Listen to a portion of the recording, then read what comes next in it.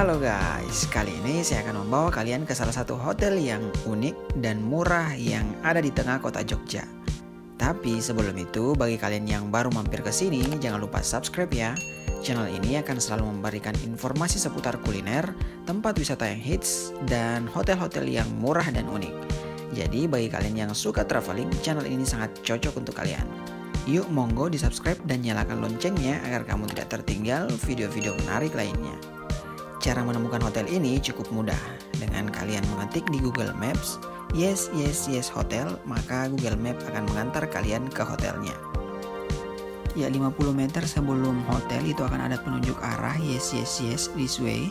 Ini dia jalannya guys menuju ke penginapannya uh, itu sekitar 50 meter masuk ke dalam. Nah, di sini ada penunjuk arahnya dan kita masuk ke dalam. Itu di sini banyak graffiti-graffiti gitu guys uh, jalannya. Kemudian akan ada lagi penunjuk arah di sini Yes Yes Hotel dan kita belok kiri untuk masuk sekitar 20 meter lagi menuju ke hotelnya. Nah, ini dia tulisannya Yes Yes Hotel dan ini dia pintu masuknya. Nah, dan di sini sangat banyak graffiti-graffiti kayak gini guys. Yuk, kita masuk. Nah, pas masuk di sini langsung ada parkiran motornya, guys. Bisa menampung beberapa motor. Kemudian ada juga parkiran mobil, tapi letaknya berada sekitar 50 meter dari hostelnya ini. Selanjutnya kita akan melakukan check-in, guys. Nah, ini dia tempat check-innya. Sebelum check-in, kita akan disuruh membaca beberapa peraturan yang ada di hostel ini, guys. Nah, ini untuk uh, kita tahu bagaimana peraturan yang ada di sini agar tidak terjadi komplain nanti setelah masuk.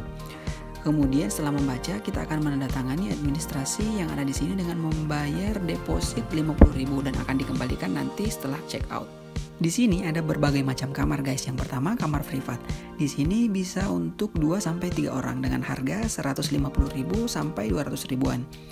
Nah, view di kamarnya itu seperti ini guys. Kalau sunset, kalian bisa lihat pemandangannya di sini. Nah, eh, kamarnya itu seperti ini dengan kamar mandi dalam. Eh, kamar mandinya juga seperti ini, unik. Dan di setiap depan kamar privat itu ada gantungan ayunan seperti ini, guys.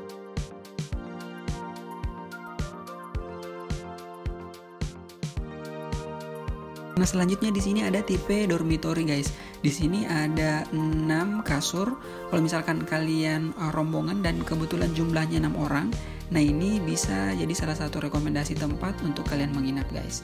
Di sini tipe dormitory fasilitasnya itu ada kipas angin, kemudian ada colokan di masing-masing bednya.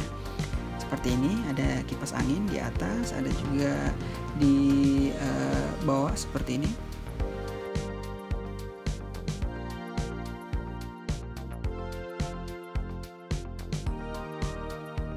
Selanjutnya tipe single room. Di sini harganya sekitar 125.000 sampai 150.000 guys. Di sini dapat uh, kelambu-kelambu kayak gini.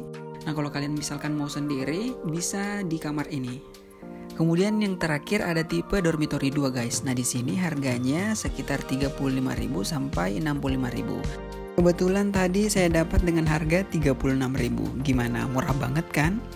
Terus di sini itu ada sekitar 17 kasur dengan masing-masing fasilitas yaitu bantal, kipas angin, ada colokan, kemudian ada locker juga.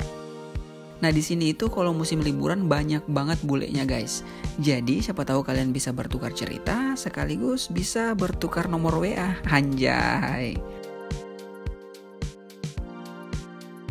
Kalau lockernya itu seperti ini guys, cuma cukup untuk satu tas kecil saja. Terus jangan lupa bawa gembok sendiri karena di sini tidak disediakan gembok, guys. Selanjutnya kita review WC untuk umumnya. Nah, ini dia WC untuk umumnya. Di sini ada tulisan Hope everything comes out. Oke. Okay? ya, kemudian di sini juga uh, menggunakan barang-barang bekas ya, guys. Ya seperti ini ada timba bekas, eh jargon bekas ya di sini. Kemudian ada tulisan-tulisan juga.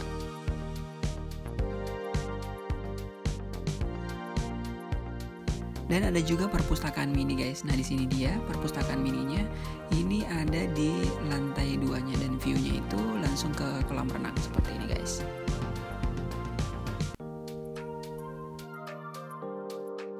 Uh, terus di sini juga ada mini bar. Jadi kalian bisa uh, pesan makanan. Terus ada kura-kura mini. Lucu banget kan?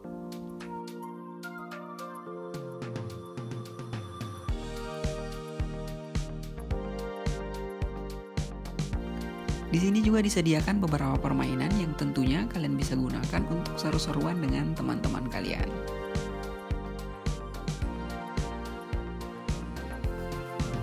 Nah, kalau kalian mau lebih seru tentunya harus mandi di kolam ini, guys. Oke? Okay?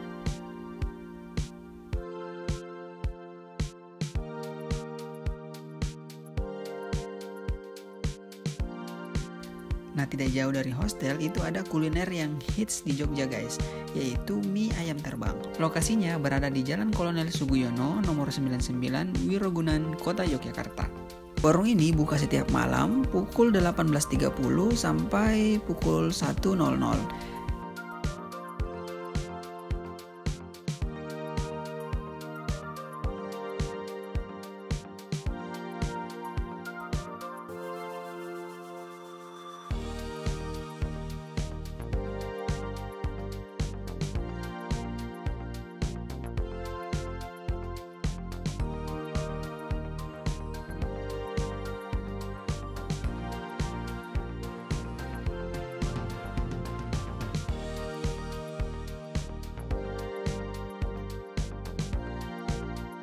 Harganya juga cukup murah yaitu cuma 10.000 Nah kalau soal rasa nggak usah diragukan lagi. Yang pastinya enak dan bikin nagih Pokoknya kalian wajib banget buat coba kuliner hits satu ini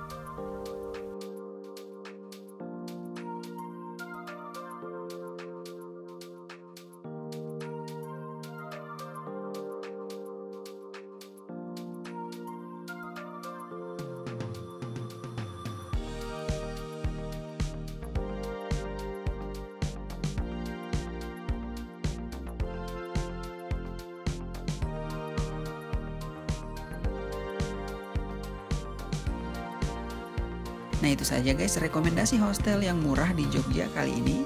Terima kasih sudah menonton. Jangan lupa share, like, komen, dan subscribe channel ini. See you on the next video.